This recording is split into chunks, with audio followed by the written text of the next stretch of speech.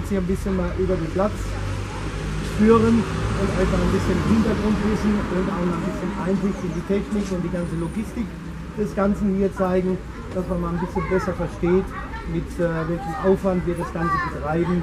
Und äh, natürlich dürft ihr natürlich auch alles testen dann. Das müsst ihr natürlich auch. Der eine oder andere darf dann mal ein Karussell steuern. Also wir haben da so einige Dinge, die dann für euch auch ein bisschen Spaß machen. Es ist auch für alles gesorgt, es gibt nachher was zu essen. Und äh, dann wünsche ich euch mal viel Spaß und wir laufen jetzt erstmal in die Richtung und fangen an. Danke.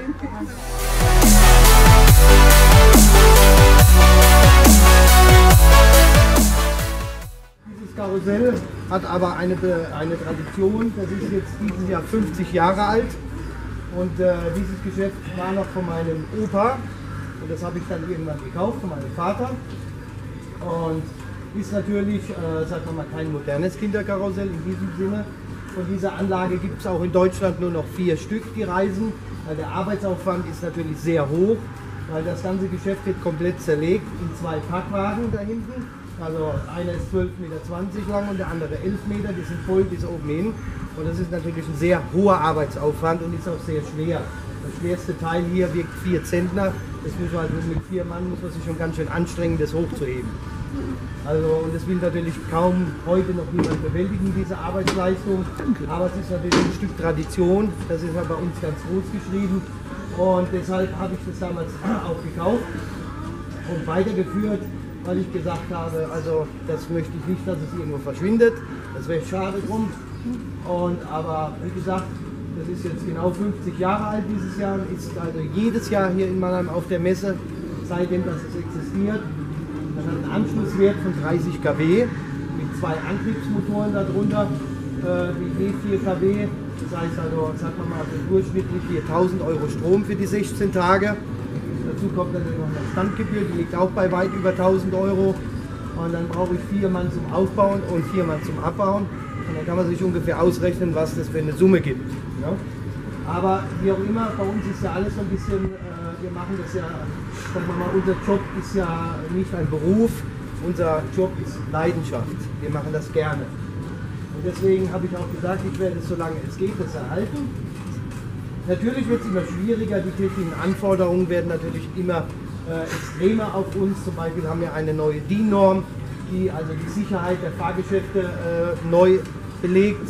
Gott sei Dank wurden jetzt die Kindergeschäfte davon rausgenommen. Da muss man natürlich eine neue also staatliche Berechnung des ganzen des Stahlbaus und der ganzen Konstruktion machen. Das geht dann schon wie zigtausende Euro. Da haben sie uns Gott sei Dank rausgenommen mit den Geschäften, aber jetzt geht es schon wieder weiter. Die nächste Norm ist eine ISO-Norm, wo auf uns zukommt und dann ist noch fraglich, ob ich mit dem Geschäft überhaupt noch reise. Dieses Geschäft ist, glaube ich, in ganz Süddeutschland vertreten gewesen. Freiburg, Heilbronn, Karlsruhe, überall. Mittlerweile fahren wir nicht mehr so weit aus Kostengründen und natürlich, weil das Überangebot natürlich auch da ist und die Konkurrenz sehr hoch ist. Aber ich denke, wir haben da viel schon getan an dem Geschäft. Das war von meinem Vater, der war sehr krank, hat nichts mehr gemacht. Und dann haben wir mal angefangen, das also zu restaurieren. Sind also bei weitem noch nicht so weit. Aber äh, wie gesagt, schauen, dass wir es erhalten können. Jemand eine Frage dazu? Wie lange dauert sowas aufzubauen? Also der Aufbau dauert zwei Tage. Also wenn ich vier gute Leute habe, schaffe ich es so ungefähr in zehn Stunden das abzubauen. Aber die müssen dann alle richtig laufen. Und die sind dann hinterher aber auch fertig. Das will natürlich heutzutage fast keiner mehr machen. Ja, das ist ganz klar. Aber trotzdem, irgendwie kriegen wir es immer wieder hin. Immer Schaustellen. Es gibt Sammler, es gibt Sammler, die sind verrückt nach solchen Gegenständen und so weiter. Richtig, ja. Sie verkaufen auch oder Nein, nein, nein, nein. Diese Fahrzeuge gibt es gar nicht mehr. Die werden heute gar nicht mehr gebaut. Wenn man jetzt die moderneren Kindergeschäfte anschaut, die sind alle so ein bisschen die Fahrzeuge modern und haben eine leichte Bauweise. Die Fahrzeuge halten natürlich, wenn man sie pflegt. Ja? Das ist ganz klar. Gut, die müssen jetzt auch mal wieder restauriert werden, aber wir haben jetzt erstmal die ganze Technik gemacht. Antriebe, früher war ja da ein Antrieb drin mit, äh, sag mit einem Wasseranlasser, wo der Strom praktisch über Salzwasser ging. Das haben wir natürlich, mussten wir dann auch irgendwann rausmachen. Dann kam der Typ und gesagt, das wollen sie nicht mehr. Dann hinterher haben sie es wieder erlaubt. Allein nur der Umbau von der Fahranlage lag schon bei 10.000 Euro. Auch die Motoren haben sich dann Gott sei verkleinert, also da unten waren Motoren drin, die konnte man zu dritt kaum tragen. Alle Widerstände sind befestigt auf der Rotorplatte.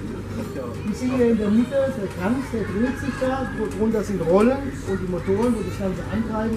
Ganz früher waren in den Fahrzeugen hier die Motoren drin, einmal in der Bus und einmal hier in der Feuerwehr. Und dann wurde das Geschäft aber nach einem Jahr umgebaut. Normal war diese Miete nicht. Und die hat man dann, weil die Kapazität da doch irgendwie zu wenig war und nicht attraktiv genug damals, hat man gedacht, hat man dann die Miete nachträglich von dem Hersteller einbauen lassen. Die äh, Firma gibt es heute auch gar nicht mehr. Es gibt also auch keine Ersatzteile. Es fängt schon an mit Lampenbläser oder so. Das ist alles also sehr schwierig. Und wenn man dann eben auf einem auf dem Flohmarkt was bekommt, was man hier wieder braucht, muss man natürlich auch viel Geld dafür bezahlen. Gibt es so viele so ältere Fahrgeschäfte? Von der Anlage gibt es vier Stück. Vier Stück. Die gab es in drei verschiedenen äh, Variationen. Das ist die größte, mit 13 Meter Durchmesser. Also das ist also für den Kinderhaushalt schon was Großes. Hat aber auch eine Kapazität, hier passen 100 Kinder drauf. Brauchen wir heute eigentlich nicht mehr, aber trotz allem ist ja natürlich schon eine schöne Sache. Muss das auch vom Gewicht her beachtet werden, was das auf so einem Fahrgeschäft drauf darf? Naja gut, äh, also die baurechtliche Vorschrift besagt eigentlich keine Erwachsenen, nur als Begleitperson. In der Miete können wir jetzt Erwachsene mitfahren lassen, wenn sie Kleinkinder haben, das machen wir auch. Wir lassen sie dann auch kostenlos dann mitfahren. Also wir machen das da nicht äh, davon abhängig, und weil die Kinder freuen sich, wenn Mama oder Papa dann mitfahren kann und die kommen natürlich auch wieder.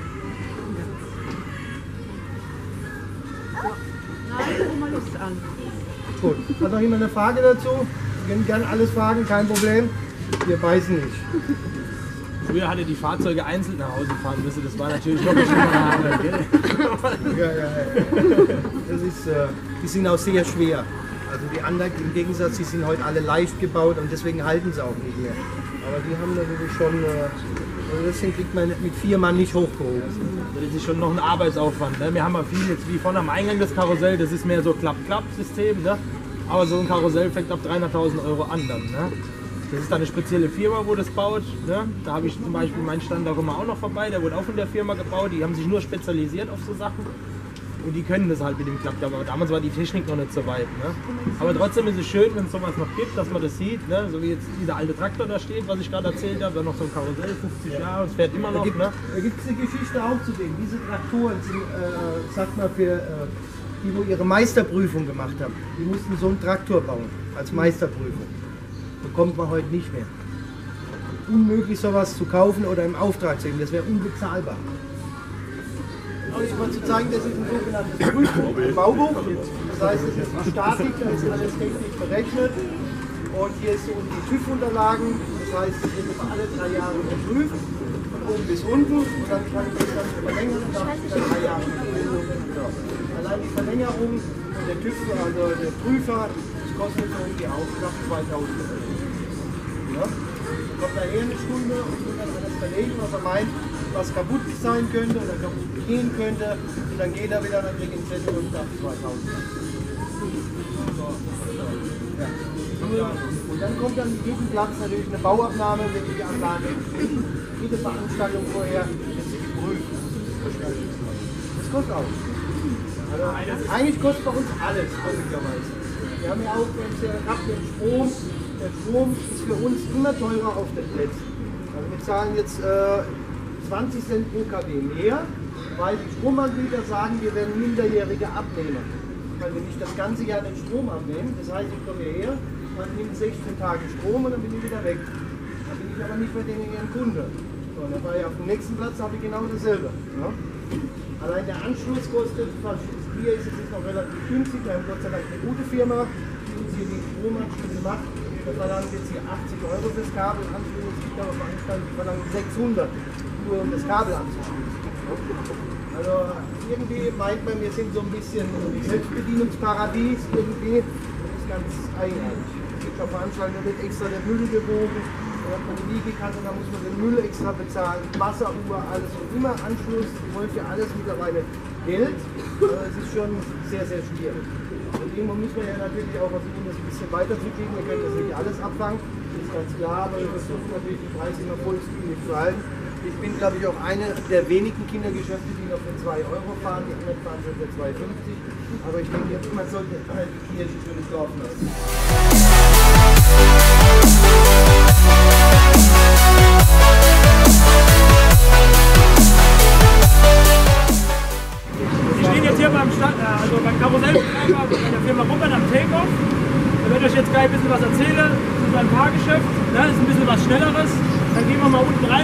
das mal unten an, wie das aussieht. Da bitte nur ein bisschen aufpassen, weil da liegen auch Kabel und so, dass keiner stolpert. Ne? Also immer ein bisschen gucken, weil normalerweise darf ja da keiner drunter, logischerweise, außer wenn morgens Wartung gemacht wird. Schön. Hallo zusammen. Mein Name ist Sebastian Ruppert, Schausteller in der sechsten Generation, Inhaber des Take-Off. Den gibt es in Deutschland noch dreimal insgesamt. Ist äh, meiner Meinung nach noch mit der schnellste, was es gibt, mit 4G. Das ist 70. Rundungen drehen sich einzeln, geht hoch, 60 Grad Winkel, hat ein Gesamtgewicht von äh, 80 Tonnen knapp. Äh, Aufbauzeit beträgt einen Tag, Abbauzeit sechs Stunden ungefähr, wird verladen auf vier Transporten, vier Schwertransporten. Äh, ja, ab acht Jahren kann man mitfahren. Spaß für Jungen alt. ähm, Eher für Jungen. ja, da muss schon ein bisschen magenfest sein. Ne? Äh, wir können gerne mal unten drunter schauen, wer Inter- Interesse hat. Auch das Herzstück angucken, die Elektronik.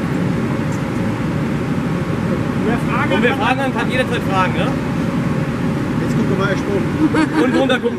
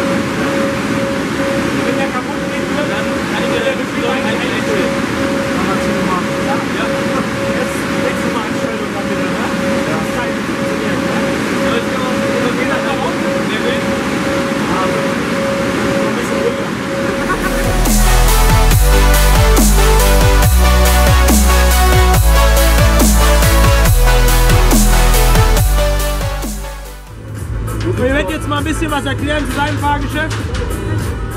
Also, viel Spaß. Also, wie mein Vorredner schon gesagt hat, mein Name ist Lagerin, mein Vorname ist natürlich Monty. Ich werde mich auch mit meinem Vornamen ansprechen. Wir schauen uns jetzt mal unser Karussell hier an. Gehen wir erstmal unten runter, da zeige ich euch noch ein bisschen was von unten und dann kommen wir wieder hoch. Okay? Alle mir nach. So, wie man schön erkennen kann, das ist eigentlich unser Herzstück von unserem Karussell. Das sagt man auch Mittelbauwagen dazu. Ohne den geht gar nichts. Ja? Der wird zuerst aufgebaut, das ist auch das allererste Teil, das man braucht beim Aufbauen. Der wird aufgeklappt und der Rest, was ihr seht, wird eigentlich alles per Hand drumherum aufges- aufgestellt danach. Wir müssen natürlich auch vieles mit dem Kran arbeiten. Wir haben große, schwere Teile dabei. Wir brauchen zum Aufbau ungefähr, ich sag mal, anderthalb bis zwei Tage für den Aufbau. Dann wird nochmal gewaschen, Lampen ausgetauscht, alles nachgeschaut, ob alles in Ordnung ist und so weiter. Bolzen, Splinte müssen jeden Tag kontrolliert werden.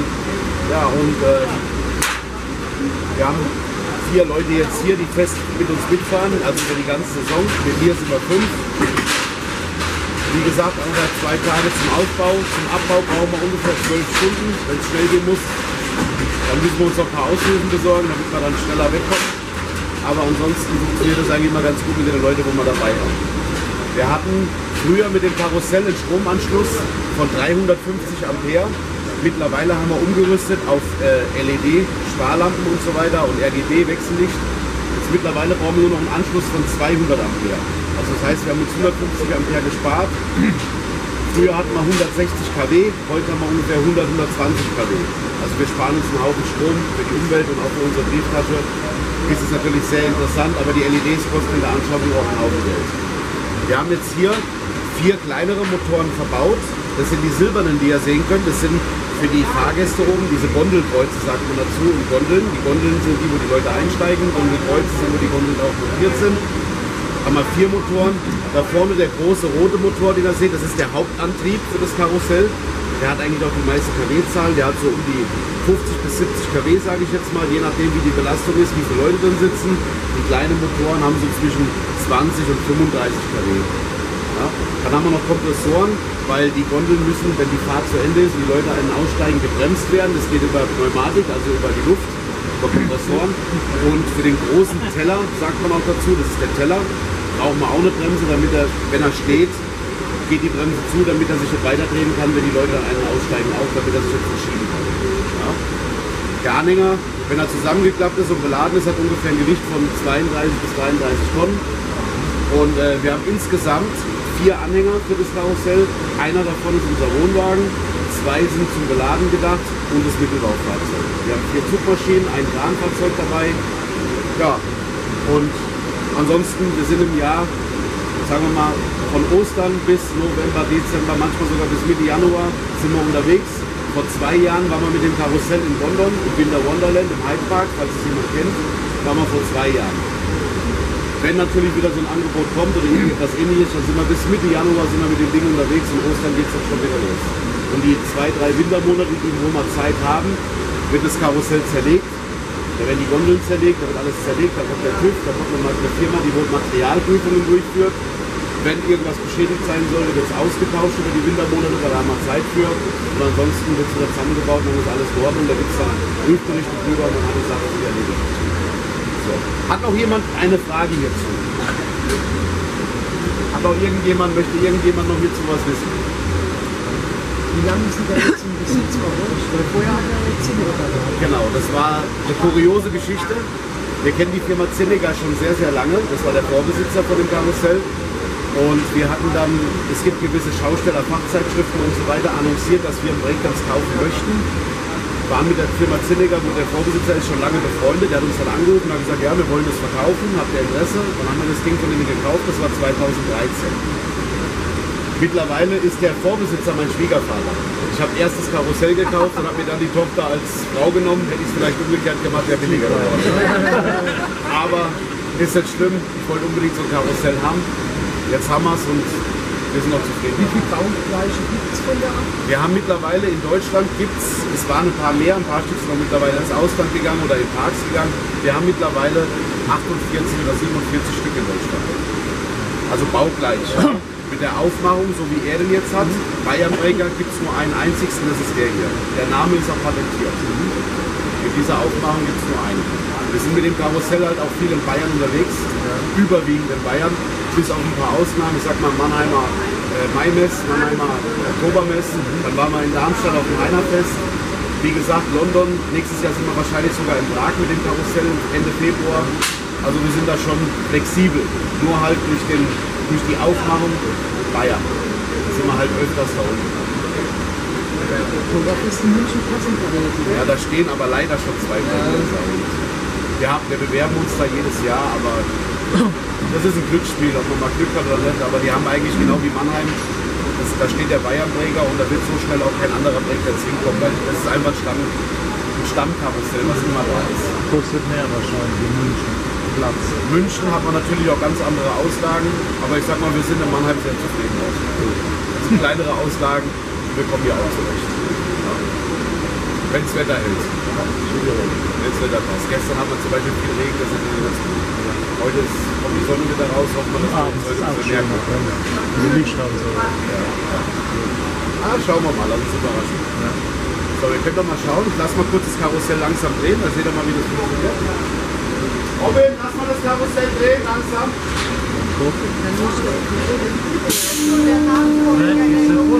Ja, das sind meine Söhne. Ich habe drei Stück. Äh, vier Stück eigentlich. Vier Stück habe ich. Der jüngste ist jetzt acht Monate und das ist ein Zwilling. Sein Zwillingsbruder ist jetzt wahrscheinlich irgendwo auf einem anderen Karussell am Spielen. ja, das ist für die Kinderparadies hier. Ist ja ja, die bauen auch schon, weil so Kleinigkeiten machen sie ja auch schon mit, bauen sie auch mit. Aber du kannst mal jetzt hierher kommen, bitte. Kannst du mal da drüben mit hinstellen. Jordan, würdest du dich auch da drüben mit hinstellen? bitte? So, ihr seht, das ist eigentlich der Hauptantrieb. So, dann schalten wir die Gondeln dazu. Geht die Luft auf, die Pneumatik. Ja. Und jetzt drehen die Gondelkreuze auch nicht. Wenn wir das sehen, also sieht man jetzt ganz schlecht über die Runden. Aber das sind halt die Antriebe. Das ist der große Antrieb. Gut, stopp. Halt ab. Jetzt geht die Bremse wieder rein, wenn er stehen bleibt. Zack, neunmal. Dann steht er fest. Dann können die Leute wieder ein- und aussteigen. Ja. Hat noch jemand sonst noch eine Frage? Kann ich irgendwie noch was beantworten? Irgendein Interesse? Nix? Ah, nix. Zufrieden. Zufrieden. Na gut, dann müsst ihr jetzt aber auch alle mal mitfahren. Oh ja. Oh je, ich glaube, ihr seid alle vollgefressen. Seid ihr alle fit? Habt ihr Lust, eine Runde zu fahren?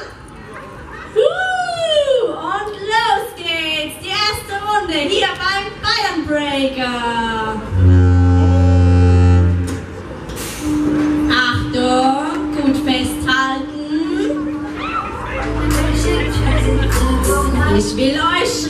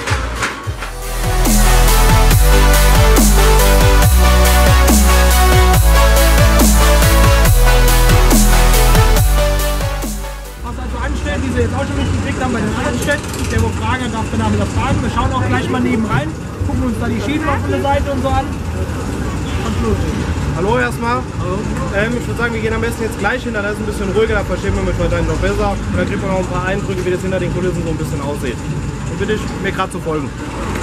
So, ich möchte mich gerne noch mal vorstellen. Mein Name ist Sebastian Göbel. Äh, wie mich der Marcel vorhin vorgestellt hat, ich bin jetzt der äh, Betreiber von der Achterbahn. Ähm, das ist ein Familienunternehmen. Äh, es wurde damals gegründet von meinem Vater und von meinem Onkel. Ähm, mittlerweile sind es äh, fünf Riesenräder, die Achterbahn, äh, zwei Autos oder eine große Superrutsche. Also schon ein äh, etwas größerer Schaustellerbetrieb. Äh, ich bin im Moment zuständig für die Achterbahn und für das Riesenrad, wir gleich noch hinkommen. Ähm, bin jetzt selber 27, äh, bin in die Firma eingetreten mit äh, 19 Jahren. Vorher habe ich meinen Schulabschluss, habe eine Ausbildung gemacht hier in Mannheim bei äh, Daimler als Mechatroniker. Äh, was mir auch sehr weitergeholfen hat, äh, später für den Beruf hier, weil man sieht, man hat hier viel mit Mechanik zu tun, natürlich auch viel mit Elektrik.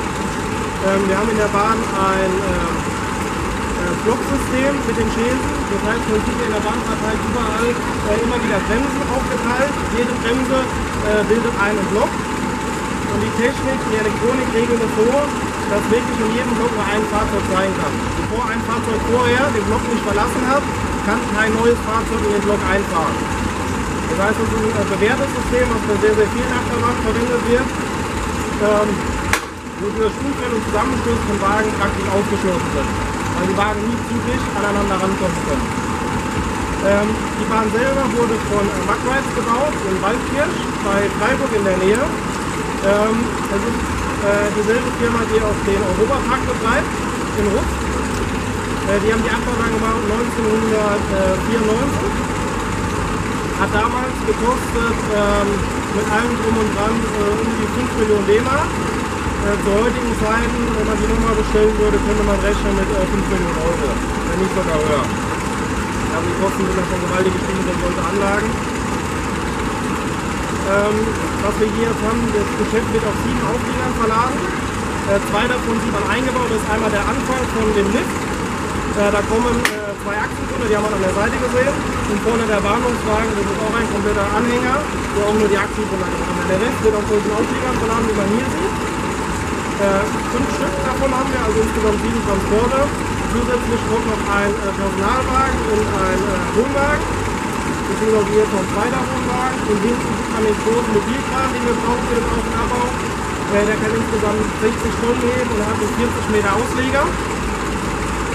Äh, den benutzen wir für die Achterbahn und auch gleichzeitig für das Riesenrad. Das heißt, der ist in, äh, ständig im Einsatz. Äh, zum Auf- und Abbau benötigen wir äh, 6 Mann Personal, brauchen ungefähr 20 Stunden zum Aufbauen und 12 Stunden äh, zum Abbauen. Das heißt, ähm, das ist auch schon sportlich, weil wir viele Plätze haben, die äh, bis sonntags gehen und freitags auch schon wieder anfangen. Das ist der Standard, in vier Tagen umzusetzen. Es geht aber auch, wenn wir es mal eilig haben, ähm, wo wir noch zwei Tage zwischendrin haben, das haben wir letztes zum Beispiel in Limburg, in der Bayer war das gewesen. Äh, Limburg ging bis Dienstag, Bayer am Freitag schon wieder angefangen, da waren nur zwei Tage zwischendrin. Und da muss man schon kräftig äh, ranhauen, aber es ist auch machbar. Ähm, so ist halt bei uns in der Branche, ähm, es muss alles schnell gehen, es muss flexibel sein, es muss schnell zum Abbauen, zum Aufbauen sein, damit wir schnell auch wieder einsatzbereit sind. Ähm, was wir jetzt auch sehen, ähm, was wir zwei Mitarbeiter gerade machen, die bauen gerade drei äh, Wagen wieder zusammen, weil wir jetzt in der Woche vor Mannheim eine TÜV-Prüfung hatten, eine äh, Verlängerung für die Ausführungsgenehmigung, das müssen wir jährlich machen, wo der TÜV kommt und alles kontrolliert. Der hat jetzt hier unter anderem wichtige Schweißnähte kontrolliert, der hat die Achsen kontrolliert, der hat untersucht, ob Risse, ob die Teile nicht großen Verschleiß aufweisen. Ähm, weil wir in der Schaustellerbranche eines der meist überwachten ähm, Branchen sind, weil wir wirklich jedes Jahr diese Ausführungsgenehmigung haben und jedes Jahr jedes Teil überprüft wird, nachgeguckt wird, haben wir einen sehr, sehr hohen Sicherheitsstandard in Deutschland. Das heißt, du brauchst dich ja keine Sorgen zu machen, an den Achterbahn einzusteigen. Ich kann Ihnen garantieren, es wird untersucht, regelmäßig. So wie kommt auch nach jedem Aufbau in jeder Stadt nochmal die Bauabnahme und äh, guckt sich auch nochmal den Aufbau ob das alles fest ist, ob die Bolzen sind und ob alle Schrauben richtig angezogen sind. Wir machen dann auch nochmal Testfahrten, das Sicherheitssystem wird nochmal überprüft. So, Hat noch einer Fragen? Irgendwas, was so im Kopf gerade schwirrt? Einfach fragen. Oder hat einer was in... Also der höchste Turm haben wir oben die Türme, das sind so um die 25 Meter. Also der höchste Punkt in der Schiene sind so um die 20 Meter. Noch irgendwelche Fragen? Schnellfahrigkeit? Ja, muss ich ehrlich sagen, das habe ich noch nie gemessen. Manchmal schneller, manchmal langsamer. Kann nicht schnell genug sein für die Jugend. Aber es ist noch eine angenehme Familienfahrt eigentlich. Also es ist jetzt nicht ganz, es ist auch kein Looping oder irgendwas drin, ne? Also ab sechs Jahren darf man mitfahren. Und äh, ich merke das ja, äh, wer auch mitfährt, das ist kreuz und quer. Mittags die Kinder, teilweise oder mit den Großeltern zusammen, abends dann natürlich mehr die Jugendlichen. Äh, und jeder kommt mit dem Lächeln raus. Ich glaube, das Schöne, wir haben auch die Fotoanlage, das sieht man hier, da wird dann jeder Wagen fotografiert während der Fahrt. Und dann sieht man die strahlenden Gesichter am Ausgang, kann man sich immer angucken. Äh, die sind am Schreien, am Kreisen, am Lachen. Das macht schon Spaß. Ja. War doch informativ, oder? Gut. Wollen wir eine Runde fahren? Ja, ne? Dann einmal wieder vorne raus.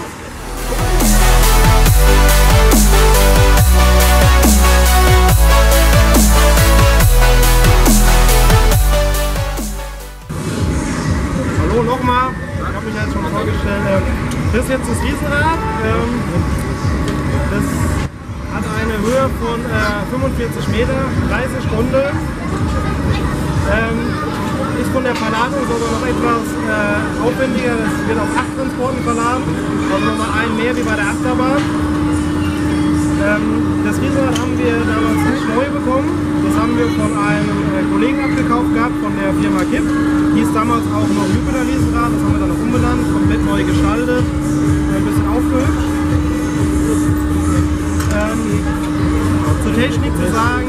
das Riesenrad wird gehalten, sieht man oben in der Mitte von der Achse, da ist ein riesiger Lager drin, äh, wo das ganze Gewicht von dem Rad sich drauf dreht. Gehalten wird es von den äh, vier Masten vorne, vier Masten hinten. Und angetrieben wird es von vier äh, Gleichstrommotoren, die mit äh, Druck an das Rad angedrückt werden und das Rad dadurch in Bewegung versetzt. Rad- Ja? Vier. Hier auf der Seite zwei Stück, hier auf der anderen Seite auch nochmal zwei Stück.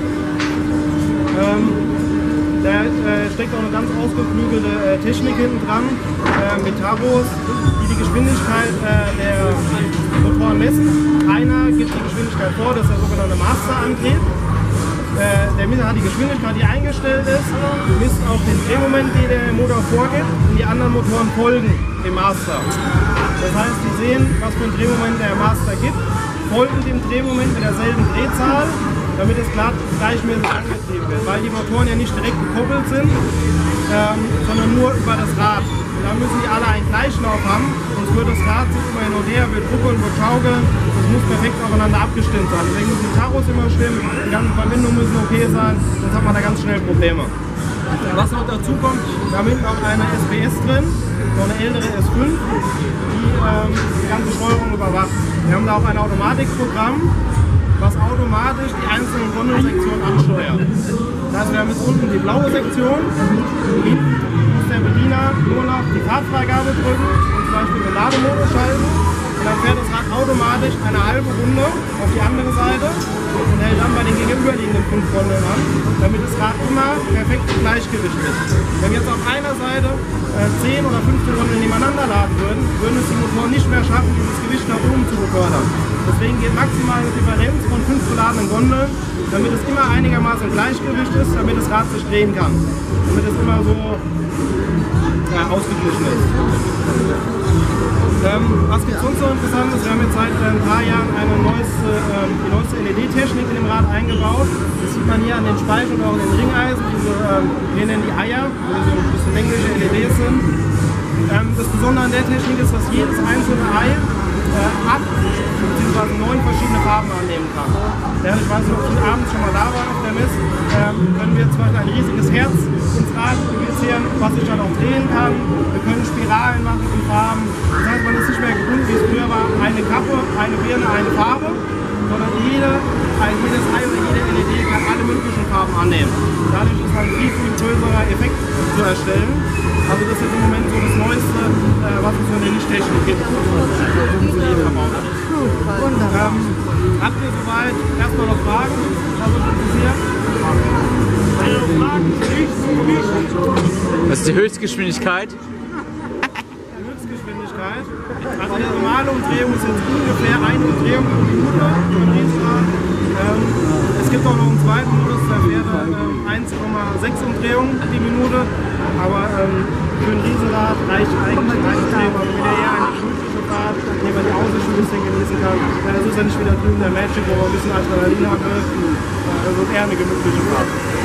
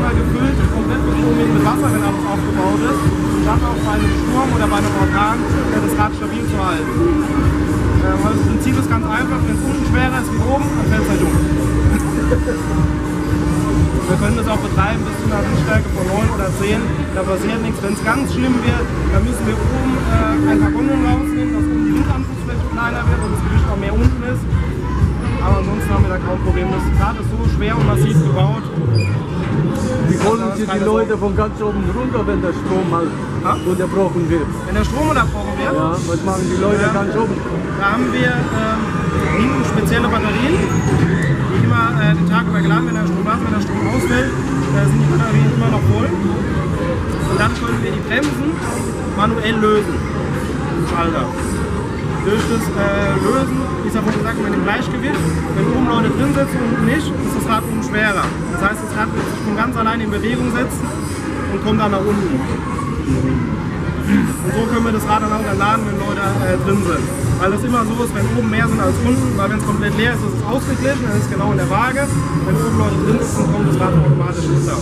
Wenn jetzt mal angenommen die Bremse und äh, die Batterie leer sein soll oder kaputt sein soll, dann auch regelmäßig vorkommt, ja, Mangel aus Komfort, können wir trotzdem nochmal alle Bremsen manuell mechanisch lösen. Das heißt, äh, wir können die Leute immer evakuieren. Egal ob Stromausfall ist oder sonst irgendwelche technischen Störungen, äh, wir schaffen es immer, die Leute äh, aus dem Rad rauszuholen. Also da brauchen Sie sich auch keine Sorgen zu machen. Muss dann keiner sitzen bleiben müssen. ne? Also es gibt immer eine Möglichkeit, da einfach rauszuholen. Und selbst für den Fall, wenn aus irgendwelchen Gründen das Rad sich nicht mehr drehen soll, hatten wir jetzt dieses Jahr in, äh, in Heilbronn war das gewesen, äh, in Zusammenarbeit mit der ansässigen Feuerwehr eine Höhenrettungsübung. Da sind die einen Vormittag mal vorbeigekommen, weil sie gefragt haben, sie würden es gerne mal üben und es wäre ist ja mal was Besonderes, wie wenn sie immer nur in Hochhäusern üben oder eben in den Bergen oder sonst wo und haben dann hier äh, mit äh, ich glaube, zehn, zehn Höhenräder war es, ähm, geprobt, wie sie die Leute oben evakuieren sollen. Das war auch ganz spektakulär mit äh, Seilrutschen und Abseilen, Leute und was weiß ich was alles. Aber die waren auch recht fix, also runter sie alle. Nein, das passiert nicht. Sonst noch irgendwelche Fragen? Ja, das ist ähnlich wie mit der. Wie das schon 20 Stunden Aufbau und 2 Stunden zum Abbau. Ich schicke ich voraus. Und wenn der komme ich hinterher. Noch jemand Fragen? Nicht so. Noch eine Runde fahren? Ja. ja.